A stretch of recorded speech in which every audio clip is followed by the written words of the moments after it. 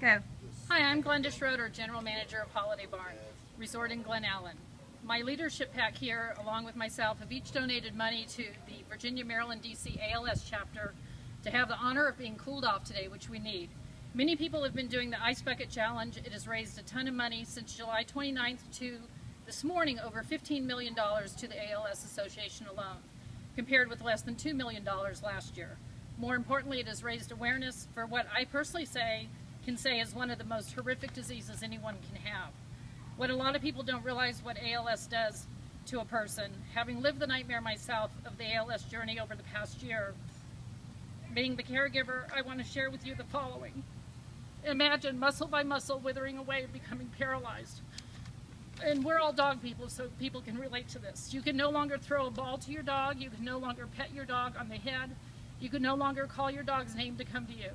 You can no longer swallow, you can no longer breathe, and eventually you can no longer live. This is ALS. There is no cure, there is only hope in the science and support from groups like the regional chapter of ALS that provides support and assistive technology and equipment to the families in need.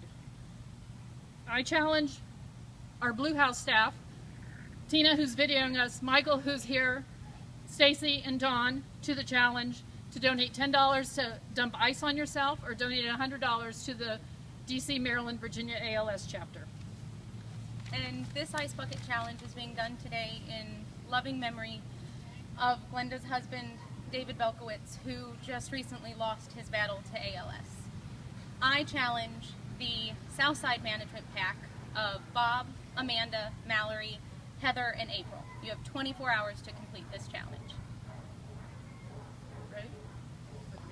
And I nominate um, the staff of Holiday Barn, both Glen Allen and Southside. Ditto.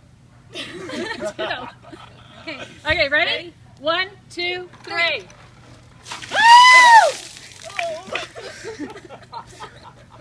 oh my goodness.